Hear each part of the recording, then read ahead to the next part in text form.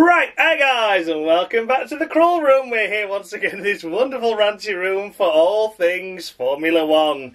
So, the Hungarian Grand Prix has come to a close, and what could be said about that one? Well, it was a bit of a slow burner in the mid stage, let's be honest. It wasn't the most thrilling thing to happen in the whole world, was it, in that middle phase of the race? But uh, towards the end, it was certainly spicing up with all the uh, on track action and off track action as well. So if you've never seen this series before, I award the drivers out of a maximum of 10 points based on their overall race weekend's performance, and I go all the way down to zero if they have a particularly bad one. Take a look out for bonus points, there's sometimes enough of some drivers do something extra special during a race, and on the rare occasion I do award minus points, those drivers do something extra special but for all the wrong reasons. Let's take a look at the current Cruel Room standings. Then going into this episode, it's on the screen now for you to take a look at. See where your favourite driver currently is in the standings, and based on this weekend's performance all along, can you see them going up or can you see them going down? There's a hell of a lot to play for. We're reaching the halfway stage now of the season, of course. We've got one more round to go before the summer break. Uh, will some drivers even last beyond the summer break in real life? Who knows? Who knows? The team standings is on the screen for you as well to take a look at those.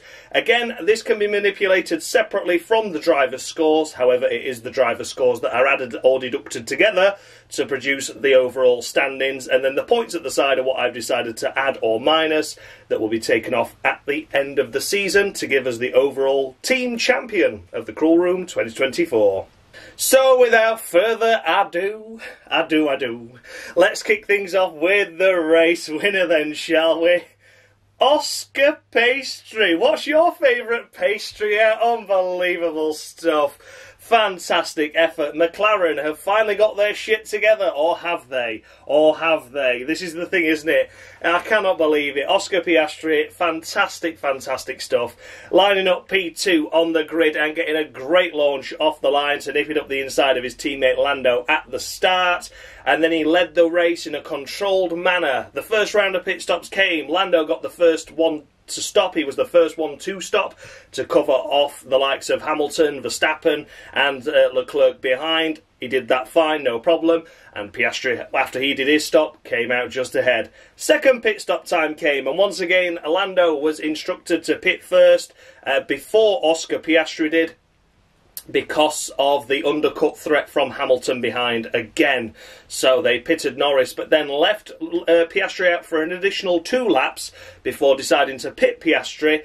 And then that meant he came in behind Lando. So he came out and he, he came in the pits in P1, came out the pits in P2. And uh, that meant that, oh dear, oh dear, oh dear, has he lost the win? Well, according to McLaren, no, he hadn't. It was all going to be sorted out and instructed towards the end of the race.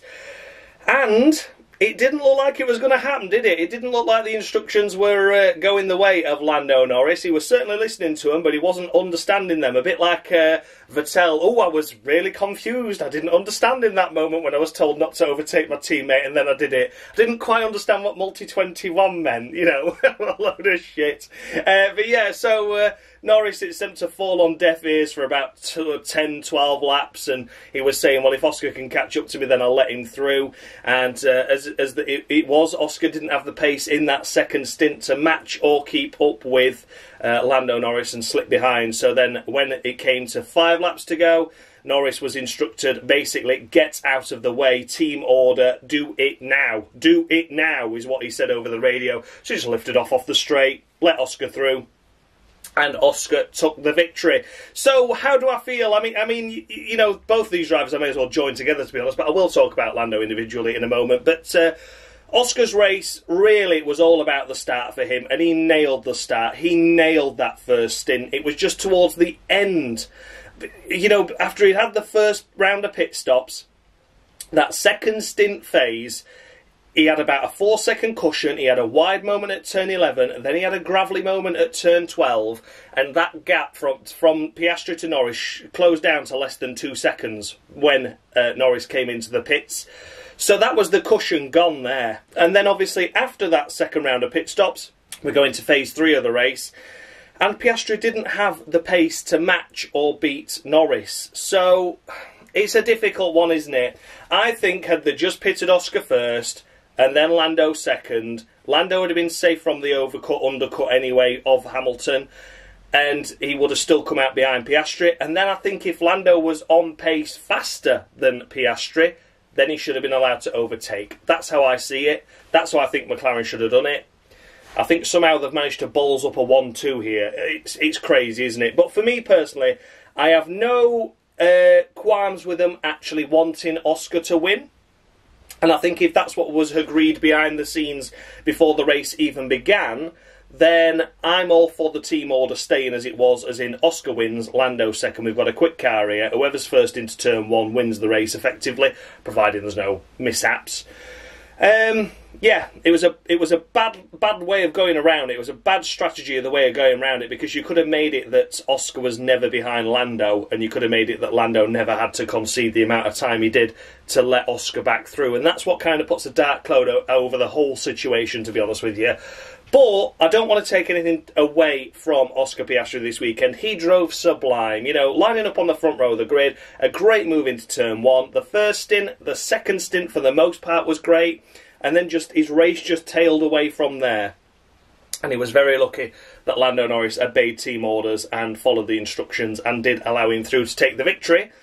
However, it did deserve it anyway. So for Oscar Piastri this weekend, I've gone for eight. I've gone for eight points to Oscar Piastri. Great weekend overall. I am just going to knock a point off for the scruffy end of the second stint that he had and the poor pace in the third stint, which meant he couldn't keep up with Lando. Um, for me personally, I think that's a fair score. I think he's done. A, he's had a good weekend.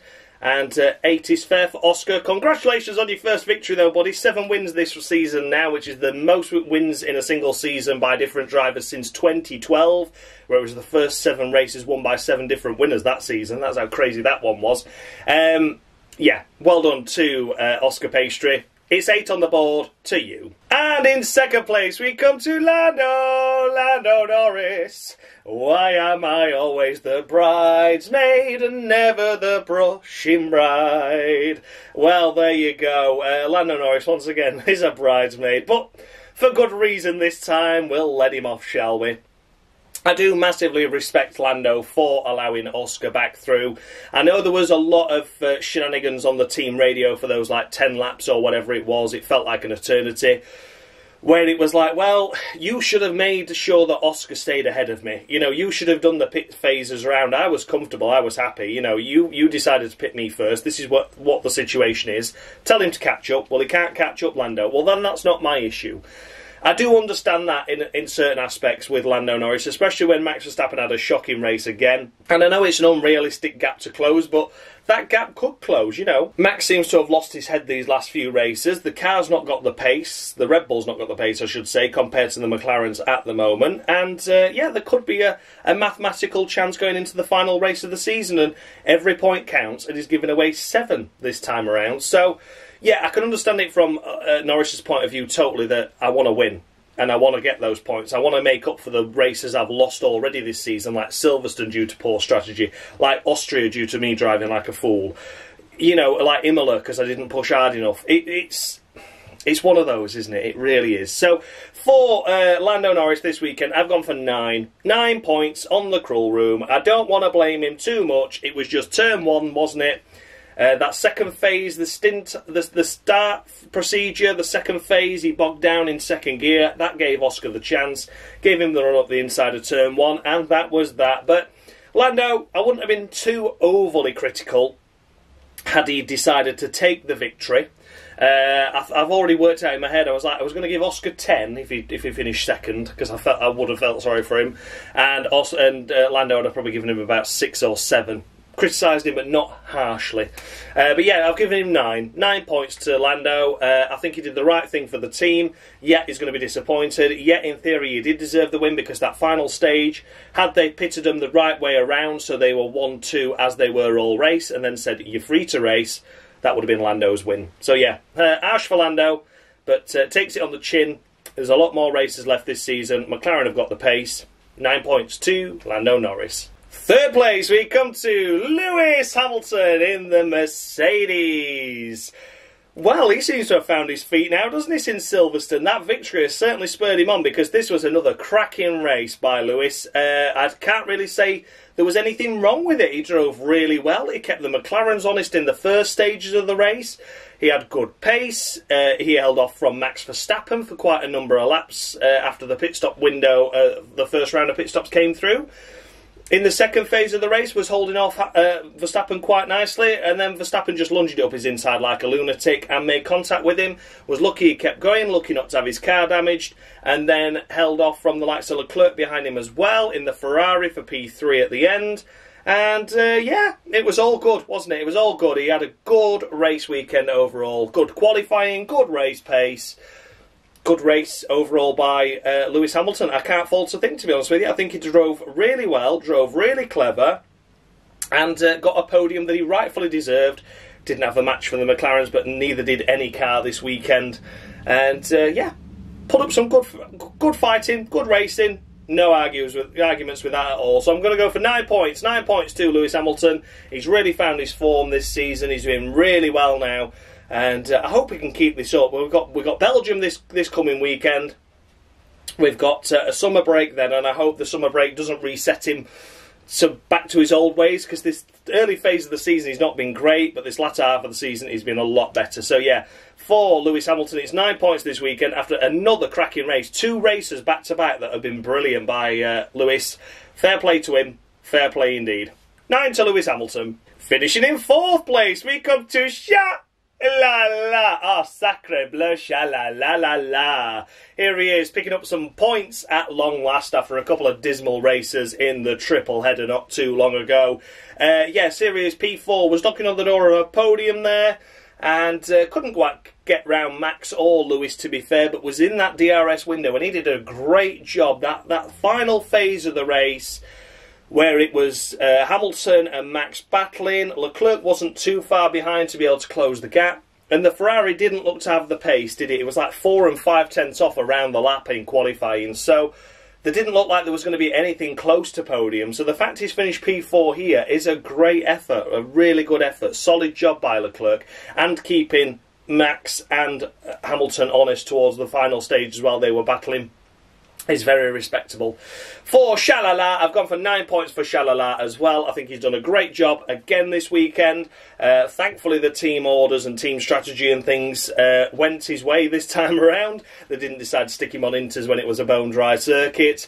Um, and uh, he didn't get any contact at the start, so he just drove his own race and it almost came good for him. It almost became a podium. That moment where Max and Hamilton came together that could have been both cars out, both cars had a puncture, both cars had damage. And he could have been P3, and he put his in, in himself in that position to get it. So, well done to Shalala. It's nine points to you. Finishing in fifth place, we come to Max Verstappen.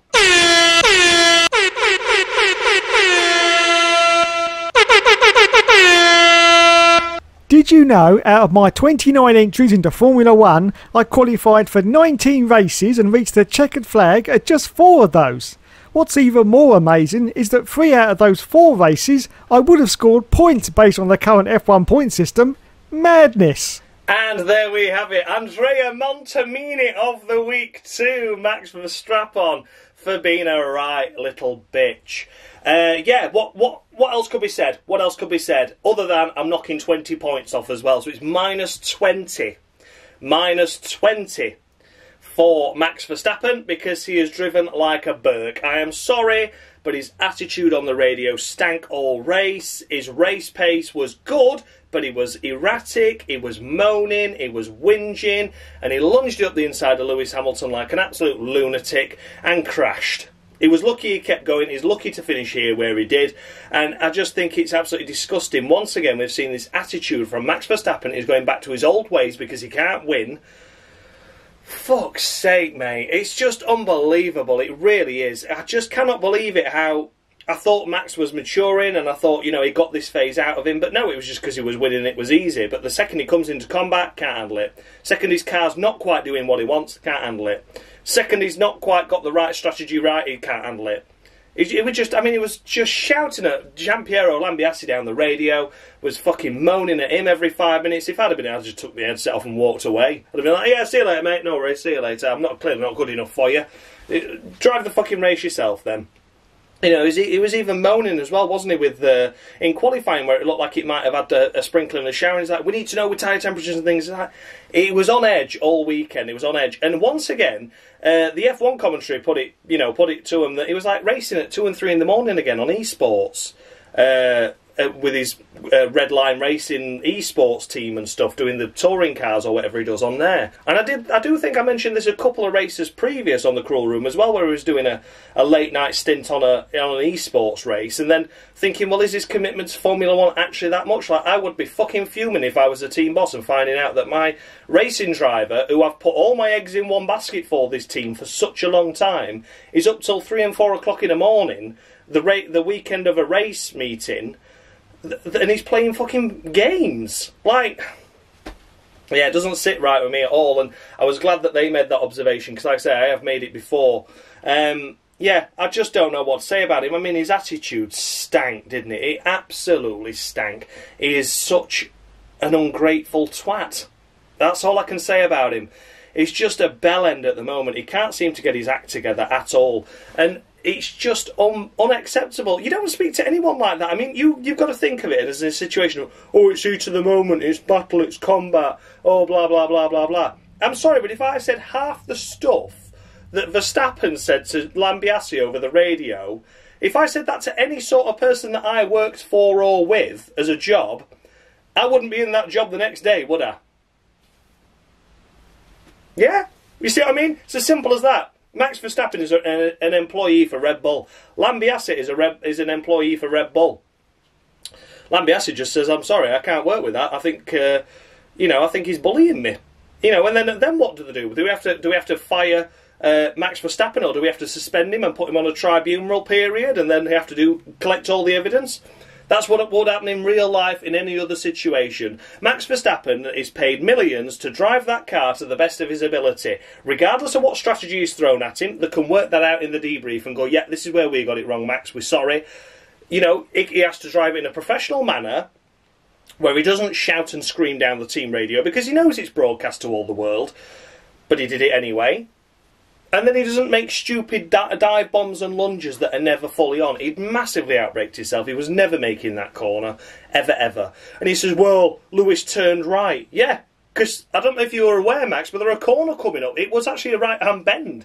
You totally missed that. So yeah, Max Verstappen was moaning all weekend, whinging, whinging, whinging, and I'm sick of it. So minus 20 and an of the week to Max Verstappen. That's going to be interesting, and that's going to affect the uh, team standings as well, because whatever the drivers score, the teams get. So I think that's going to send them down the order somewhat, but uh, tough shit. Uh, it's uh, piss poor at the moment at Red Bull. It really is. The attitude stinks, and they can't keep allowing Max Verstappen to get away with this attitude because uh, it's not acceptable. It's as simple as that. So yeah, minus 20. And of the week, two, Max Verstappen. Next we come to Carlos Sainz. Smooth operator. Smooth. Mmm. Ish. He did okay he did okay, did uh, Carlos. He, he, drove well, he drove smart, he didn't do anything wrong, we didn't see anything of him, but it wasn't as good as his teammate Leclerc. He tumbled away in the race itself. Had about a 10 second gap between himself and Leclerc at the end there, so not great considering you're in the same car, or very similar at least anyway. So I've gone for a solid 7.5 to Carlos Sainz. He's not done anything right or wrong this race weekend. I just think he's done what he could with the car he'd been given, but his, his teammate Leclerc squeezed that little bit more out of it. So uh, it's as simple as that, really. It's as simple as that. 7.5 to Carlos Sainz.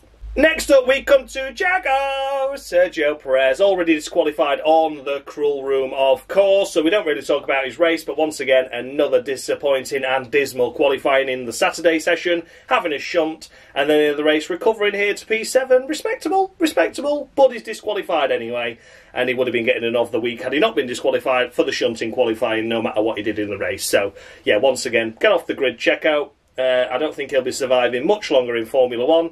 Uh, Helmut Marko said he needs to deliver um, in Belgium or be out. So we'll see how right Helmut Marko's words are. But uh, for now, yeah, that's that. And all said and done for Checo. Then we come to George, George, George of the Russell. Watch out for that Q1. Yeah, because he didn't make it past it either, did it? And was out qualified by Sergio Perez that stuffed it into the wall.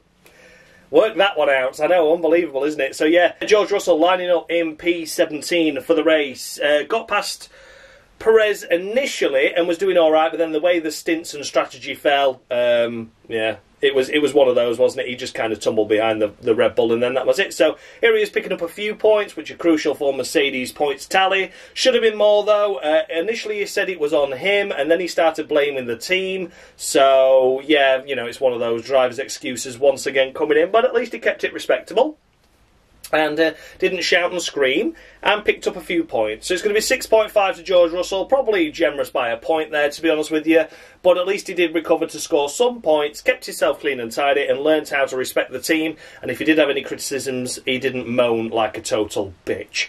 So yeah, 6.5 to Georgia the Russell. Then we come to Yuki Tsunoda, the first of the Visa Cash App Maxi Tampon RB Buy One Get One Freeze. Uh, yeah, what could be said for Yuki Tsunoda's race weekend overall? Picks up a couple of points here after an impressive Q3 appearance. However, he did have that big shunt in qualifying, didn't he? And I do have to note that, I'm afraid. I do, I do, I do. Uh, picking up two points this race, look at the cars ahead. Is an RB expected to be any of those cars ahead? No, not really. And the cars he finished ahead of? Yep, absolutely. I think he did a good job there to hold off the Aston Martins at the end there, who were playing a strategic game to try and get ahead of him. So he held those off nicely. Good effort, good job. And picks up a couple of points for the team. Fair play. When his nearest rivals don't score points, it didn't look like they had that opportunity to do that this weekend. Picking up a couple of points is crucial. However, I do have to mark him down for that shunt in qualifying. So Yuki Tsunoda is only getting six. Six points on the cruel room from me. That is harsh, I will admit, but he did crash. He did crash heavily, and it was lucky that he didn't sustain any like gearbox repair damage and engine penalties and things like that because that was a smelly mess when it, it uh, arrived on the grass in bits, wasn't it? So yeah, Yuki Tsunoda, I've knocked him off there basically four points because I think that was a perfect 10 weekend. Q3 and points. Can't do anything more than that. Uh, but yeah, unfortunately, he did have that shunt. So six points to Yuki Tsunoda. Rounding out the final points paying positions, we come to Lance Stroll in the Aston Martin. Now we've got controversy here as well, haven't we, within the Aston Martin squad because Alonso was ordered to let Lance Stroll by so he could have a go at Yuki Tsunoda, and if he couldn't get Yuki, then he was going to re-let Alonso through to take that final point. and he didn't do it. He didn't do it, did he? He didn't do it. But where it's different in McLaren, with Oscar and Lando trying to keep two drivers happy, Aston Martin, it's not that at all. It's just let's keep daddy happy, let's keep son happy, let's make sure son and daddy are happy. How are they going to be happy? Well, if son scores points and a teammate doesn't, daddy's happy. Daddy's happy. So he finishes P10, he's not going to get punished or discredited or disrespected or anything for disobeying team orders in allowing Alonso back through for that final point because it doesn't matter because it's his own team. So you know, you can't expect anything else, can you, from him? And I'm not going to hold it against him because this is just the way it is now. I'm kind of, I'm kind of bored of it, to be honest with you. I am just bored of it. So, yeah, it's seven to Stroll. I thought that was a weekend that was worthy of a seven. He didn't finish ahead of an RB that he should have done. The pace at the start of the race was respectable, and he did keep Alonso honest. In fairness, to be that close to Fernando, that's what I'm getting at. Normally, Lance Stroll is nowhere near his teammate, so team orders can't come into play. The fact that team orders have meant that the drivers have switched around anyway it's irrelevant to me in this situation. It really is because Stroll's always going to want those points in it because he's a professional racing driver. Look at me, Daddy. Look at me. I'm a racing driver, Daddy. Ah, I know, son. I love you. If only I'd have had twins, I could have had two of my sons in that team, and we could have both been sharing the points. Wouldn't it have been fantastic? Oh, I know, Daddy. I know. Yeah. So there you go. That is Lance Stroll. Seven points from me. Uh, because, yeah, he disobeyed team orders, but don't give a shit because it's his team, and that's the end of that. Finishing just outside the points in P11, we come to Fernando Alonso.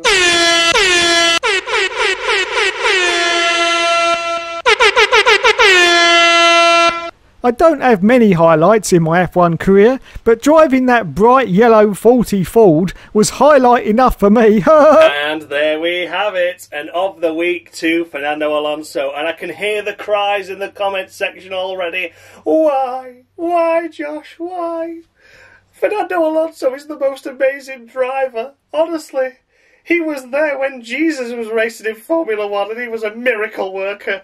I know, I know, I'm sorry, but he just came into this weekend with a totally defeated and deflated attitude, and I wasn't really agreeing with it. I really wasn't. His, his free practice sessions weren't really feeding back well, whether? You know, like, oh, how was the balance on the car, Alonso? We need to feed back to the other te- to the other driver. yeah, good luck. Was that feedback? Was that was that feedback, Alonso? Yeah, he just he's just these last couple of race weekends. I mean, I, I, can understand his frustration. You know, they had a podium finishing car last year regularly. You know, and it looked like they'd lost the way in the middle of the phase of the season last year, but then sort of came good again towards the end. So he was hoping that it was going to be sort of good again and respectable. It's not been that way at all. There's talks as well as that uh, Alonso's not being listened to and it's Lance Stroll's feedback that they're taking more when it comes to the car and its performance, and that's why that's closing the deficit between Alonso and Stroll because he's been tailored to more of Stroll's driving style. But again, he should have known all of this before he signed for a team whose son's in the second car. You know, Alonso, yeah, I love the guy, don't get me wrong, but these last few races have been incredibly frustrating to watch. And it's just got to the point where it's just a bit inexcusable now because you, you're already frustrated with the situation you're in, in terms of the car's not as good as it should be. I get that. I totally get that. Then you're frustrated at the side the, the fact, well, they seem to be taking Stroll's feedback more seriously than mine. Again, it's probably just hearsay. There probably is some truth to that, to be fair, but just taking it from Alonso's perspective, you've got those two things on your mind. The last thing you want to be doing in that situation is acting like you don't give a shit about anything because they're just more likely to listen to Stroll more and they're more likely to go with Stroll's feedback for the upgrades that you know don't work on your car. You know, if you're if you're in a defeated attitude and just like yeah, whatever, I'm not I'm not asked. Oh, how were that? How were that Alonso? Is that okay? Yeah. Could you got any more out of it? No, I don't know. Well, Where's the, where's that going to get you? Where's that going to get you in life? It's not, is it? It really isn't. So yeah, Alonso has been given an of the week for his just general downbeat attitude, and while I can understand it, and while I can accept it, that's not going to get the performance level of that car any better, and he's not going to suddenly be cheering up, is he? Because we're not going to turn up to Belgium now with that kind of feedback he's been given to the team and that kind of not giving a shit. He's not going to suddenly then turn up to Belgium and be a podium finisher. You need to be approaching the team and saying, look, guys, listen to me. Please listen. I know what the problem is. It's X, Y, Z. Look, just trial it in Spa. If it doesn't work, I'm happy to revert back to the other previous update or revert back to the previous setup. But just trust me, guys, it's X, Y, and Z on my car that I need to get the most out of it. And then when he gets a Q3 appearance and a top five finish, he's like, look, I told you guys, right, summer break coming up now. We can get it sorted you know, we've got two weeks in the workshop. Let's push, push, push. We can really come back strong in the second half of the season. That's what he needs to be doing. That's what he needs to be doing. But he's not. He's just.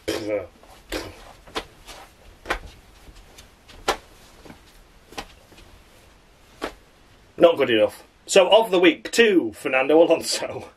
Next up, we come to Daniel Ricciardo in the second of the Visa Cash App Maxi Tampon RBs Minardi Toro Rosso buy one get one frees. Uh, what a historic name. Prestige just on the tip of your tongue with that spicy bastard. But yes, nonetheless, Daniel Ricciardo is getting six points, same as his teammate, because Ricciardo does deserve six this weekend. A Q3 appearance, but couldn't convert it into the points. His teammate did, of course, convert it into the points, but he did have a shunt in qualifying. Ricciardo didn't. Ricciardo drove a decent race here. Could he really have been expected to finish ahead of the Aston Martins? It'd have been nice to see him finish ahead of one because then that strategic play at the end uh, to try and attack Tsunoda between the two Astons wouldn't have come to fruition. But uh, as it was, P12, respectable finish. It was the sixth best car, so in theory, this is where it should be. And uh, that's that, really. So, yeah, a solid 6 to Daniel Ricciardo, a decent weekend but could have been more based on where his teammate finished. Next up, we come to Nico Hulkenberg in the first of the Hassers in an unlucky for some P13. Uh, yeah, this is sort of the best they could have done this weekend, really.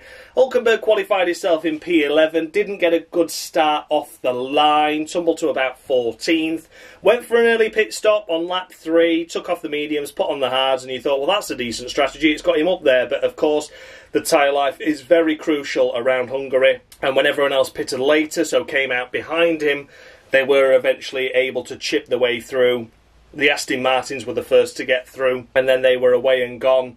So the strategy didn't quite work out well enough, but I could understand why they did it because if you had a safety car or anything, you'd then got track position to pit and get a free pit stop already ahead of the cars that you were previously behind. So I do understand why they did it, it just didn't work out their way at all this race.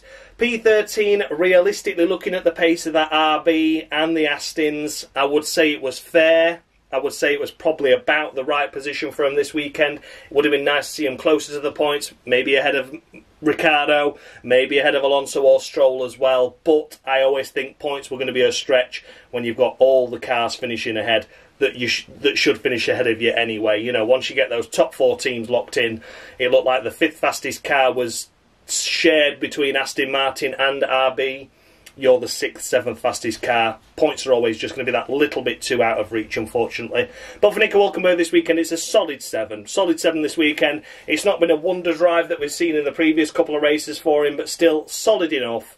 Um, points would have been a stretch, but maybe, just maybe, had he had a better launch off the line, he could have been a bit closer to him.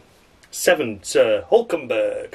P14, we come to Alex Albon, qualifying himself in P13, finishing P14. Again, there's not really much that could be said about Alex's race. Didn't have the pace for points this weekend, did that car, but finishes ahead of a Haas and uh, an Alpine, and I guess that's okay. There's not really much else he could have been expected to do this weekend when the top four teams lock in the top eight positions and he certainly wasn't the fifth fastest car. So that's all said and done, unfortunately. Alex Albon gets 6.5 from me. I think that's a fair and respectable effort. Been nice to see him get ahead of Haas Hulkenberg, maybe. That would have been a nice uh, little Brucey bonus for him, but four places away from the points seems about fair from where they were this weekend. 6.5 to Alex Albon. Then we come to Kevin Magnussen in the second of the Hassers. Uh, his weekend, 15th in qualifying, not as good as his teammate, but had a great launch off the line. Uh, so he was in P10 in the early phases of the race, but went for a late ish stop compared to all the others, and he lost a hell of a lot of track position. He fell behind a load of cars. He was behind the two Alpines, he was behind Bottas as well in the Sauber at one stage the pit stop when they decided to pit him was like a nothing strategy from Haas. It was really confusing. Uh, they could have done more with him. Had they pitted him earlier, he could have come out with his teammate and been a bit closer to the top 10. But as it was, they put him on a nothing strategy. He got stuck in a load of traffic, and that really just ruined his race, sadly. So yeah, not a good, not a good stop by Magnussen, but that wasn't his fault. That was the Haas strategy.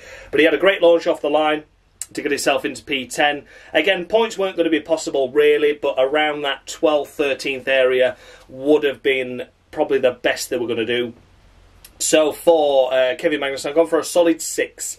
Solid six this weekend for K-Mag. Uh, pointless than his teammate, just for the qualifying deficit. Once again, a few positions were crucial. He did make it up in the race, however, but he was in a compromise strategy from then on. Six to K-Mag. Then we come to Valtteri Bottas in the first of the Stake Kick me up the arse Saubers. Uh, Valtteri this weekend, I am going to say, was shafted. Royally shafted by his strategy. You watch that race back, and I know Mr. Anonymous, and he's not been doing much this race or this season at all, but you take a look at Valtteri Bottas, and I think you'll see that he was actually really good this race. He was P12 in qualifying, which is a great effort. He was running round in and around that area, P11, P12. Then he had a later stop than Kevin Magnussen, and Kevin Magnussen race, race, was ruined by a late stop, but he had a later stop than Magnussen, but not enough to have a good enough tyre deficit on the cars around him. Came out at the back behind his teammate Zhou Guanyu, who was trundling around the back all weekend. That's how bad that pit stop strategy was by the Sauber squad. I don't know what the hell they were playing at. Were points possible? No. But was he the sixth fastest car this weekend? I think so. I think there was a P11, P12, somewhere around there kind of finish on the cards there for Bottas. And had it gone wrong with Hamilton and Verstappen actually like both being out, that could have elevated him to, into the points. So, yeah, Bottas I think was shafted this weekend, unfortunately, by his team by a very poor strategy. So he's getting seven points from me. Seven for Valtteri. That was a fair effort, respectable qualifying, respectable first stint of the race, and then screwed by strategy. And I mean screwed. Watch that race back and just watch Bottas because I said I was going to do that, didn't I? Because he always seems to be missing out on off the weeks when he deserves them. But there's more things going on in the race. I watched Bottas like a hawk and I was like, why have they done that? I think Bottas needs a little bit of respect for that race, and that's why he's getting a solid seven on the Cruel Room. Next up, of course, we come to Logan Sargeant in the second of the Williams, disqualified on the Cruel Room anyway. And yeah, just another one of those weekends. Very lonely weekend by Sargeant. Did respectable in qualifying, but then that was about that. So yeah, we don't talk about his race anyway. But uh, yeah, not an impressive one to be keeping his uh, race seat for more than the uh, second half of the season. Another driver at risk. Will he make it past Belgium? Who knows? There's four weeks to decide after next week, and uh, I think there might be a couple of drivers uh, getting their P45s. Next up, we come to Esty, Esty Bestie Ocon, Esty, Esty Bestie to you. Ain't like Esty Bestie Ocon. Well, what can be said for Esty Bestie this weekend? It's a Miller 05 team, sort of treat him as a retirement. I don't know what they were playing about in Q1, but they decided they weren't going to go back out as the track was evolving, so they ended up down at the back anyway. Alpine have just got this team that just look like, oh, they look like they're making some progress, and then they're like, oh, no, no, no, no, let's line up on the back row of the grid, lads, shall we? Okay, thanks. Yeah, I don't really know what that was all about, but uh, yeah, the race itself, he was compromised with a poor qualifying that wasn't his fault, and then the race itself yeah, here he is. I don't really know what happened to him. Not really interested. Miller 05 to Esty Bestie. Then, last of the runners, we come to Zhou Guan Yu in the second of the Stake Kick Me Up the Arse Saubers.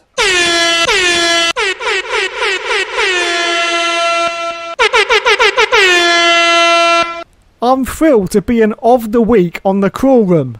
I thought I was so anonymous that even the moaning Yorkshireman would forget about me. And there we have it. Of the week, Andrea Montermini of the week to Zhou Guan Yu for being absolutely pathetic this race weekend once again. Lining up towards the back of the grid in P18. Stunning. Stunning effort, Zhou. Stunning. Uh, had a spin in free practice one that nearly took Perez out, didn't it? That was quite an interesting moment. He just kept pirouetting. That was fun. Uh, and then in the race itself, dog shit race pace, down at the back, trundling around, doing nothing at all. Absolutely pathetic. So yeah, Zhou Guan Yu deserves a of the week to him. I think that puts him close to disqualification now, but I'll uh, have a look and check at the scores soon. But I know he's not disqualified just yet, but he is getting close to it. So he could he be the next one to join the pile? It's ever growing, isn't it? That's for sure. So there we have it then, yes, a of the week to Zhou Guan Yu. And last but by no means least, we come to Pierre Gasly, the first and only retirement in the race. As always with the retirements, I can only score him a maximum of five points, and a maximum of five is what he is getting. Uh, because uh, once again, another retirement. He, he, didn't even take part in the last race, did he? Last time out, Jesus Christ! And this time round, had to retire with a hydraulics issue. Uh, the race itself, obviously, once again, Alpine didn't decide to go out for another run in Q1, which compromised their qualifying substantially. Lined up on the back row of the grid, elected to do a pit lane start and change a load of components overnight, and then obviously something in those components broke down, which is pretty much what happened last time as well, didn't it? So yeah, boxed and retired after about 20 odd laps. It was a pathetic effort, really, by Alpine once again, but no fault of Pierre Gasly. So it's a maximum of five a retirement can score. And uh, that's that, I'm afraid. Gasly, what a shocking season. So, well then, guys, those were the runners and riders of the Hungarian Grand Prix. Let me know down in the comments section if I scored any drivers too high, any too low. The updated standings with the scores I have just awarded are on the screen now for you to take a look at. And my oh my, hasn't Max Verstappen taken a tumble, but rightfully so. deservedly so after what was a pathetic effort by him. Really needs to book his ideas up and sort himself out. Really looking forward to seeing what the comments section actually say about not just that, but about the team orders at McLaren, the situation at Aston Martin. There's a lot. There's a lot of talking points going into this summer break, isn't there? It's going to be really interesting to see what people's thoughts and opinions are on it. Take a look at the team standings as well. That'll be on the screen for you now to have a look at. And it is Red Bull down at the bottom now. Oh dear. Unfortunately, whatever the drivers score is what the teams score. So uh, yeah, that's fun, isn't it? Red Bull down at the back after well, Sergio Perez not doing anything, can't score any more points, so they're already down to one car with Verstappen, and then Verstappen, uh, their only dr- point scoring driver, not just in real life but in the cruel room anyway, drives like a knob. It's not going to end well for you, is it? But uh, yeah, I can influence this somewhat. I could add those 20 points back on at the end of the season if I wanted to. I could deduct more from them if I wanted to. I could do whatever I wanted with any of these teams. And uh, yeah, for now, that's how the order stands but the points have got to come off the ones that you can see with the minus scores at the side of them, and I'm A plus points towards the end of the season as well to get a champion. So massive thanks as always goes out to Dan, formerly of Mushy Gaming, of course, currently under Dan Bartlett for providing me with the scoreboard that you see on your screen, the driver icons in the corner of your screen, and for the intro. Without him, this series would be more pointless than it already is. And who can forget Dave, F1 Games PlayStation, providing me with the of the weeks that you don't necessarily know yet, but you know you're going to love them. That's one thing for sure. We've got an exciting one coming up for next time out as well. A massive thanks always goes out to those guys. And a massive thanks goes out as always to you guys for watching. Thanks so much for the continued love and support with not just this series, but the channel as a whole. I'll see you all next Tuesday for the Belgium Grand Prix Cruel Room. That's going to be a spicy one, isn't it? Looking forward to that. And then we go into the summer break and uh, there's plenty of content coming up in between as well, so look forward to that. Thanks so much for watching, guys, and as always, much love!